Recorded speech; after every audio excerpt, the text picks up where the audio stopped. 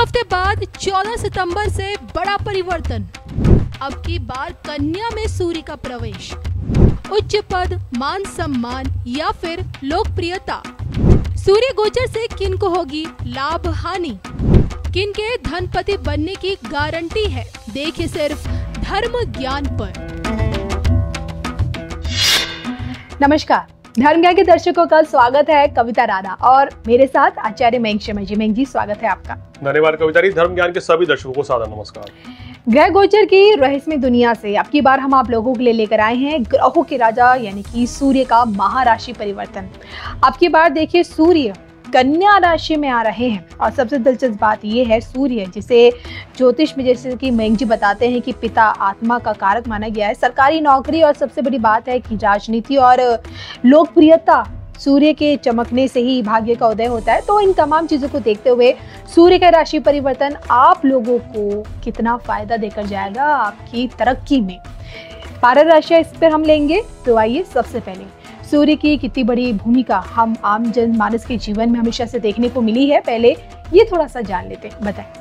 बिल्कुल कविता देखिए सूर्य हमारे पिता का कारक है हमारी आत्मा का कारक है और सूर्य अगर कुंडली में मज़बूत है जी। कहते हैं कि व्यक्ति की आधी से ज़्यादा समस्या तो समाप्त हो जाती है। सूर्य ग्रहों के राजा है। सूर्य अगर आपकी कुंडली में मेष राशि में है सूर्य मिथुन राशि में है या सूर्य अगर बात करें कर्क राशि में भी है तो बहुत अच्छे माने जाते हैं। सिंह में तो स्वगरी हैं, अभी तक चल रहे थे। और इनको कन्या राशि में भी बहुत अच्छा माना जाता है। और इसके साथ साथ वृश्चिक धनु राशि में ये बहुत बली हो जाते हैं। अगर इन राशियों में सूर्य है आपकी कुंडली में तो ये आपको अधिकतर शुभ फल देते हैं।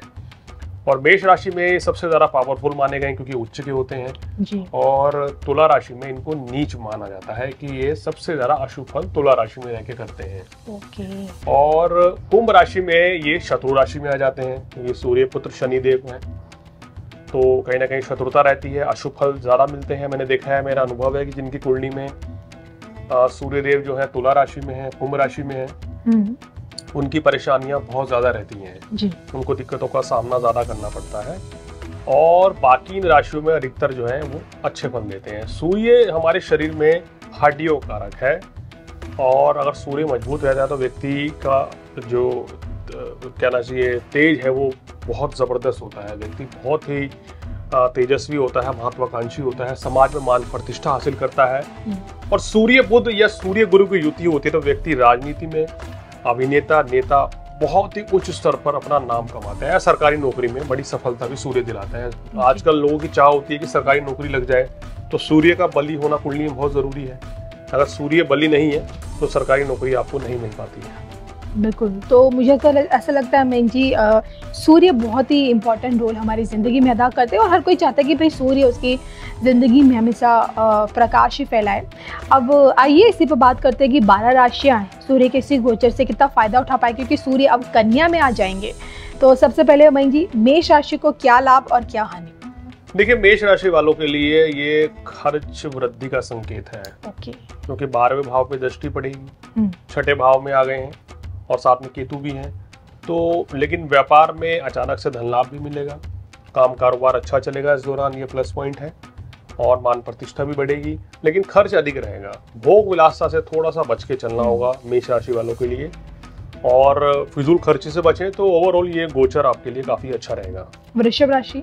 वृषभ राशि वालों संतान की सेहत का ध्यान रखें। पेट संबंधी रोग से परेशान रह सकते हैं। हालाँकि व्यापार में कारोबार में धन लाभ अच्छा मिलेगा कार्य व्यवसाय में सफलता मिलेगी और आपकी कोई मनोकामना भी पूर्ण हो सकती है। मिथुन? मिथुन राशि वालों के लिए ये जो गोचर कहा जाएगा ये थोड़ा मिला जुला रहेगा। सूर्य केतु की युति चतुर्थ भाव में मानसिक तनाव दे सकती है। अपनी सेहत का ध्यान रखें। कार्यस्थल पर कोई गलती आपसे लापरवाही हो सकती है तो उस चीज़ का भी आपको ध्यान रखना बहुत ज़रूरी है। धन का निवेश करने से बचना चाहिए। और इसी कड़ी में कर्क के लिए? कर्क राशि वालों के लिए ये गोचर बहुत उत्तम रहेगा कविता जी। इनको अचानक से धन लाभ मिलेगा मान प्रतिष्ठा बनेगी भाग्य का पूर्ण सहयोग मिलेगा। और रुके हुए कार्य भी कर्क राशि वालों के पूर्ण होते हुए नज़र आ रहे हैं। खर्चों में भी जो है थोड़ी कमी अब देखने को मिलेगी तो ये आपके लिए अच्छा संकेत है। सिंह राशि। सिंह राशि वालों वाणी पर संयम रखना आपके लिए बहुत ज़रूरी है। धन का निवेश ना करें सेहत का ध्यान रखें तो ये तो आपके लिए माइनस पॉइंट है। अब प्लस पॉइंट क्या है कि जो कारोबारी है उनको ज़रूर लाभ मिलेगा। भले लाभ बहुत ज़्यादा बड़ी मात्रा में ना हो लेकिन फिर भी एक निश्चित धन लाभ आपको इस गोचर के दौरान ज़रूर मिलेगा। और इसी कड़ी में कन्या के लिए प्लस माइनस दोनों पॉइंट देखिए कन्या राशि वालों सूर्य केतु की युति आपकी राशि में रहेगी वैवाहिक जीवन में उथल पुथल मची रह सकती है। तो ये पहला माइनस पॉइंट दूसरा ये है कि आपको अपनी सेहत का ध्यान रखना चाहिए। क्रोध की अधिकता से बचना चाहिए अन्यथा तो आप घर पे हो या ऑफ़िस में हो अपने आप को परेशानी में पाएँगे।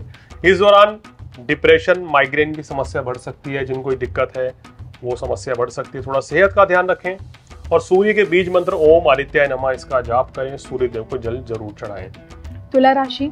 तुला राशि वालों ये गोचर आपके लिए बिल्कुल शुभ नहीं है। बारहवें भाव में सूर्य केतु की युति ये ग्रहण दोष बनाती है जिससे खर्चों में वृद्धि के संकेत रहेंगे। मानसिक तनाव से परेशान रह सकते हैं।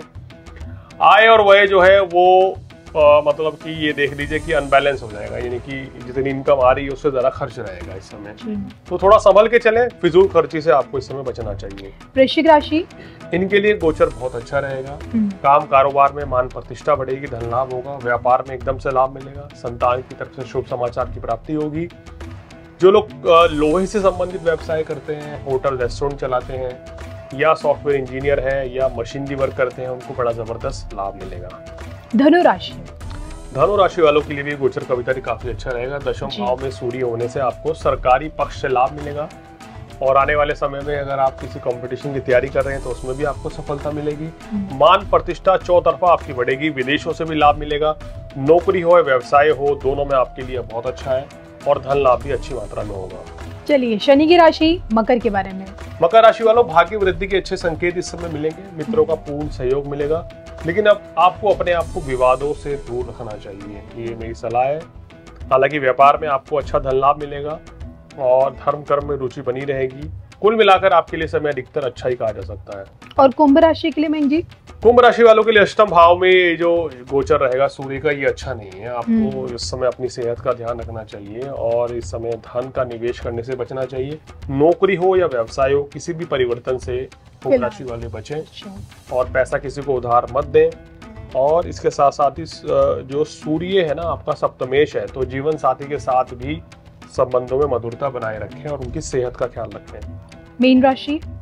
मीन राशि वालों सप्तम भाव में सूर्य होने की वजह से वैवाहिक सुख में कुछ कमी रह सकती है। इस समय विदेश यात्रा विदेश भ्रमण का योग बनता हुआ नज़र आ रहा है। काम कारोबार में थोड़ा ही समय मिला जुला रहेगा। अप्रत्याशित आपको धन लाभ कहीं अचानक से मिल सकता है। हम्म। तो इस चीज़ का बेनिफिट भी है आपको। लेकिन यहाँ क्रोध की अधिकता भी बढ़ेगी एरोगेंस भी बढ़ सकता है। तो उस चीज़ से आपको बचना चाहिए। चलिए मैं जी इसी के साथ मैं आपसे ये भी जानना चाहूँगी कि किस प्रकार से व्यक्ति अपने जीवन में सूर्य को मजबूती दे सकता है।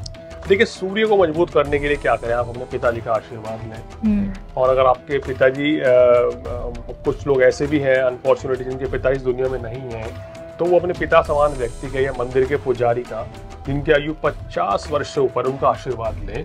तो बहुत ही शुभ रहता है। बड़े बुज़ुर्गों की सलाह से चलें तो आपके लिए बहुत अच्छा अगर आपकी कुंडली में सूर्य तुला राशि में है मीन राशि में है या हम कहें कि आपका कुंभ राशि में है तो बड़े बुज़ुर्गों की सलाह से चलना आपको निश्चित रूप से आपके लिए लाभकारी साबित होता है। जी। सूर्य को जल चढ़ाए थोड़ा हल्दी डाल के ओम भास्कराय नमा ओम आदित्य नमा या ओम घृणी सूर्य नमा इस बीज मंत्र का जाप रेगुलर करेंगे तो कोई बड़ी परेशानी आपको नहीं आएगी। चलिए तो इसी के साथ मुझे और मैंग जी को दोनों को इजाज़त भी दीजिए। नमस्कार।